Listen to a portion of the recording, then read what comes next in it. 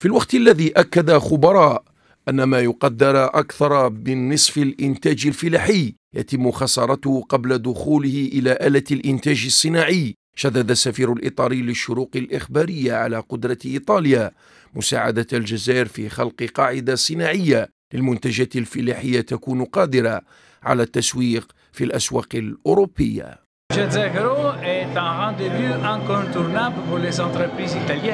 معرض جازاغرو للصناعات الفلاحية هو موعد مهم للمؤسسات الإيطالية التي جاءت من أجل إبرام شراكة حقيقية مع الجزائريين نظرا لاهتمامنا بالصناعات التحويلية. وما نمتلكه من خبرة في مجال الصناعات الغذائية. إيطاليا تمتلك إمكانات كبيرة في مجال التكنولوجيا وأهم من ذلك تلك الصداقة التي نقيمها مع الجزائر. وإيطاليا قادرة على جلب قيمة مضافة في مجال التصنيع في الجزائر. إحنا في الجزائر عندنا un problème من الفلاح لل consommateur المنزل. عندنا قريب 60% الخضر تروح في السماء. بهذا المعرض هذا الماشينات اللي راح يجيبوا راح نديروا transformation يعني باش نديروا déjà جاو تاع ال stockage تاع ال logistique وجاو تاع المصانع.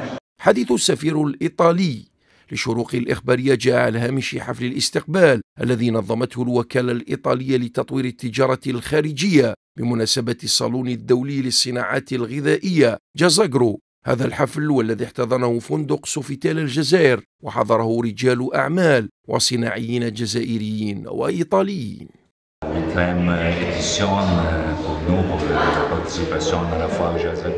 إيطاليا تشارك في الطبعة السادسة عشر للصالون الدولي للمنتجات الفلاحية. وهو موعد مهم لدينا. لقد حضرت إيطاليا ب 120 مؤسسة من بينها 65 مؤسسة قادمة من إيطاليا والأخرى تعمل بالجزائر. أعتقد أن ثمة الكثير يمكن فعله للوصول إلى معادلة ربح ربح بين المؤسسات الجزائرية والإيطالية.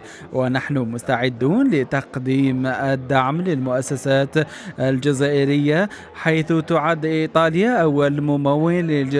بالماكينات الصناعية المشهود لها بالجودة.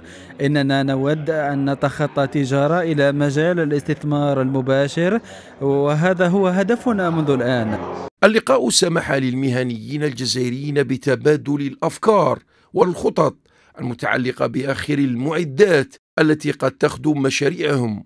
والاستفسار عن آخر الابتكارات التكنولوجية والتقنية بالإضافة إلى تطوير الفلاحة والتحويل والتغليف الخاصة بالخضر والفواكه واللحوم والحليب ومشتقاته والمشروبات والحبوب والمرطبات.